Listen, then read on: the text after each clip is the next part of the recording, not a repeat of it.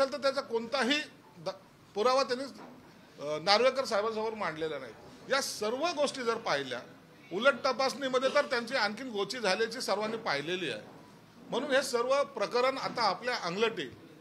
मुद्दा एक आहे त्यांना फक्त आणि फक्त आम्ही केलेला उठाव हा कायदेशीर आहे याची जाणीव होती. आणि आपले चौदा पंधरा आमदार जे आहेत ते अपात्र होतील. म्हणून त्यांनी ही केलेली पूर्ण कसरत आहे.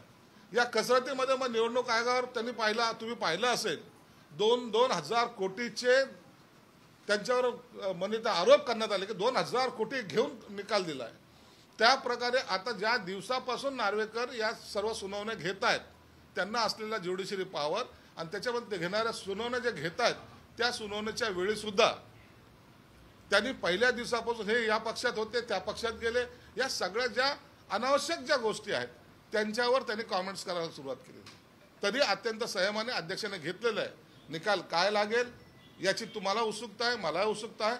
परंतु चौदा आमदाराचं काय होईल याची धाकधूक असल्यामुळं हे सर्व प्रकार होत आहेत आणि या चौदा आमदाराला जेव्हा जर आमच्या बाजूने निकाल लागला तर तातडीनं त्यांना ते अपात्र ठरतील त्यांची आमदारकी ही रद्द होणार आहे. सर सर याला तुम्ही जोडून पहिल्या असा प्रश्न आहे तुम्ही दिवसापासून अध्यक्ष जेव्हापासून ही सुनावणी सुरू झाली किंवा त्याच्या आधीपासून अध्यक्षांकडे जेव्हा हे प्रकरण वर्ग करण्यात आलं ती पहिल्या दिवसापासून राहुल नार्वेकर जे अध्यक्ष आहेत त्यांच्यावर सातत्यानं आरोप केले जात आहेत. त्यांना मॅच फिक्सिंग झाली आहे असं म्हटलं जात आहे. वेगवेगळ्या प्रकारे त्यांच्यावर काशेरे उडले जात आहेत. मग हेच तर प्रकार आहे ना. त्यांनी आपण ज्या चुका केलेल्या आहेत ना हे क्रिकेट सारखं झालं. हरलो का तर म्हणजे समोरचे त्यांनी मॅच फिक्सिंग केली. अरे तुम्ही खेळा ना. तुमच्या ग्राउंडवर तुम्हाला खेळता नाही आलं समोरचा जिंकला तर आपण त्याच्यावर आरोप लावण्यासारखा हा प्रकार आहे. म्हणून यांनी ज्या ज्या चुका अनेक वेळा केलेल्या आहेत. एक तुम्हाला उदाहरण म्हणून सांगितलं की व्हीप एकीकडे जर पाहिलं तर त्याच्यावर डेट वेगळी मग ती खोड खोडली कशी? हे सगळे प- पुरावे त्यांचे का म्हणजे समोर आलेले आहेत.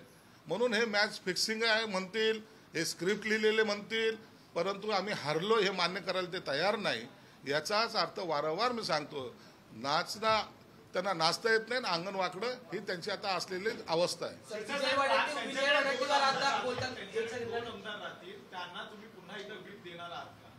कारण की ज्या पद्धतीने आदित्य ठाकरे याचा कुठेही त्यांचा उल्लेख नाहीये या सगळ्यांमध्ये ऋतूच्या लटके ह्या देखील दुसऱ्या चिन्हावर आलेले आहेत. कारण की जर राहिले तर हे दोन आमदार तिकडे राहतील मग त्यांना पुन्हा एकदा व्हीप देणार आहात का? लटकेंना आम्ही व्हीप देणार नाही कारण की लटके या पोटनिवडणुकीमध्ये निवडून आलेले आहेत. त्यांचा या या प्रकरणाशी संबंध येत नाही. त्यांचं चिन्ह वेगळं होतं आणि त्यांना पक्षाचं नाव सुद्धा नव्हतं. म्हणून त्यांच्यावर ही कारवाई होणार नाही. राहिला आदित्य ठाकरेंचा प्रश्न तर आदित्य ठाकरेंना आम्ही फक्त एकमेव की हे मातोश्रीच्या ठाकरे कुटुंबातला एक सदस्य आहे. आपण त्या कुटुंबातल्या सदस्याला घेऊन यांना काही नाही परंतु सर्वसामान्याची भावना आहे किंवा ठाकरे कुटुंबाचा आहे मग त्याच्यावर कारवाई जाणून बुजून यांनी केली असं चित्र येऊ नये.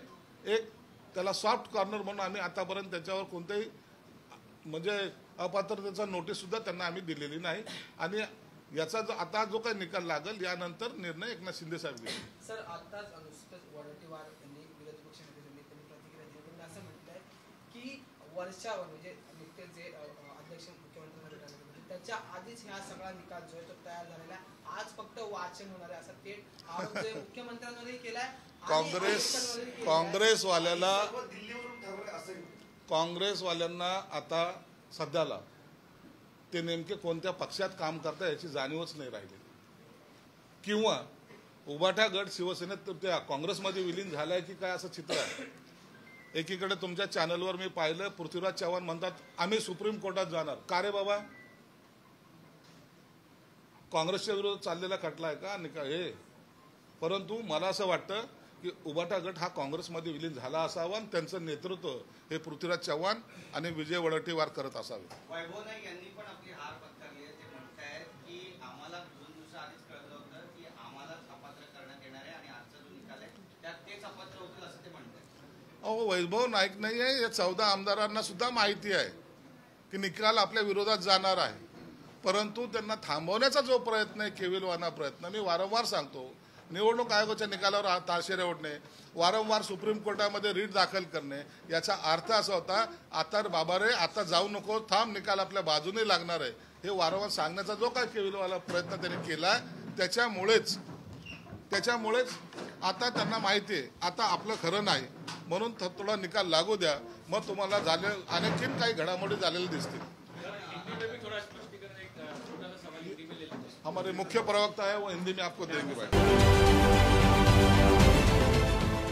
देश विदेशातील प्रत्येक घडामोडींचे लाईव्ह अपडेट मिळवण्यासाठी आता साम टीव्हीच्या सर्व सोशल मीडिया प्लॅटफॉर्मला लाईक फॉलो आणि सबस्क्राईब करा. तसंच सर्व नोटिफिकेशनसाठी बेल आयकॉन प्रेस करायला विसरू नका.